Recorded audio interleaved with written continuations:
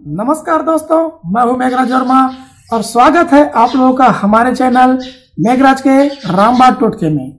मित्रों, आज पूरा भारत वर्ष दिवाली के अगली सुबह गोवर्धन पूजा मनाते हैं। जी हाँ मित्रों, पौराणिक कथाओं के अनुसार यह प्रथा द्वापर युग से ही ब्रज से आरंभ हो चुका था।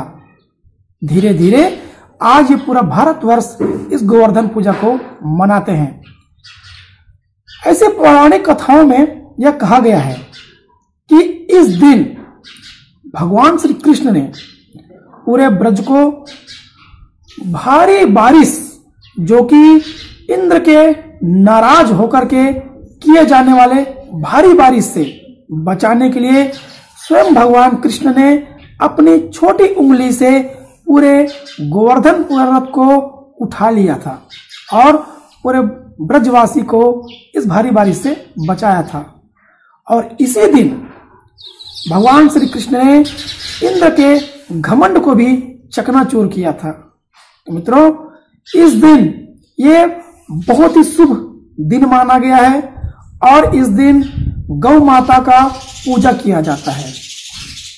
तो मित्रों, इस दिन हम कुछ ऐसे ही कुछ उपाय करके अपने घरों में सुख समृद्धि ला सकते हैं, धन की पूरी, कमी को पूरा कर सकते हैं, या जो भी हमारी मनोकामनाएँ हैं, उसे पूरा कर सकते हैं। या मित्रों, होता है, कहा गया है कि इस दिन गोवर्धन पूजा के दिन अगर कोई व्यक्ति दुखी रहता है, उनका मन दुखी है तो पूरे साल भर तक वह दुखी ही रहता है। इसलिए इस दिन अन्नकूट का भी पर्व मनाया जाता है और बड़े ही प्रसन्न मन से गौ माता का पूजा करना चाहिए और उस दिन मन को हमेशा प्रफुल्लित और खुश रखना चाहिए। अगर मित्रों, आपके घर में किसी प्रकार की पैसे की कमी है या पैसा कमाते हैं लेकिन आपके घरों में पैसा रुकता नहीं है। खर्चा बहुत हो जाता है। घर में तनाव की स्थिति है। घर में सुख शांति नहीं है।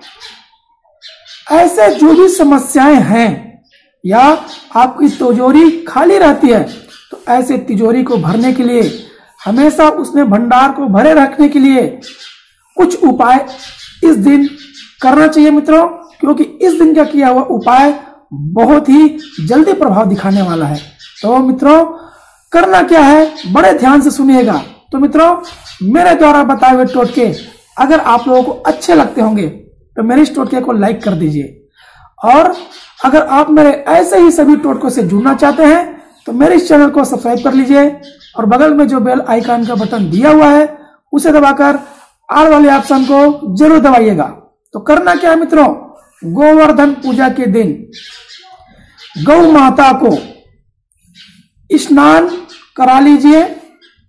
स्नान कराने के बाद तिलक लगा दीजिए, धूप दीप दिखा करके गौ माता का पूजा कीजिए। पूजा करने के बाद में कुछ फल जो भी बन सके खिला दीजिए। और गौ माता के खाने वाली चारा को गौ माता को खिला दीजिए। खिलाने के बाद आप गौ माता का सात बार परिक्रमा कीजिए। सात बार परिक्रमा करने के बाद गौ माता के जो खुर, पैर का जो खुर है, उस खुर के नीचे का मिट्टी को उठा लीजिए और उस मिट्टी को प्रणाम करके एक कांच की शीशी में रख लीजिए और रखने के बाद अपने घर के तिजोरी में जहाँ पैसा रखते हैं, वहाँ रख दीजिए। इस उपाय को करने के बाद देखिए तो मित्रों, घर में सुख शांति आएगी। जो खर्चा पैसा रुकता नहीं था, वो पैसा रुकने लग जाएगा। घर में पैसा की कमी जो है, वो दूर हो जाएगा। ये बहुत ही जल्दी प्रभाव दिखाने वाले और राम बाण टोटके है मित्रों। इस उपाय को आप लोग ज़रूर कीजिए और अपनी सभी समस्याओं को, आर्थिक तंगी को दूर कीजिए। तब तक के लिए मित्रों, आप लोग जहाँ भी रहिए, हँसते रहिए, मुस्कुराते रहिए, अपने आसपास सफ़ाई रखिए और मुझे दीजिए आज्ञा, नमस्कार।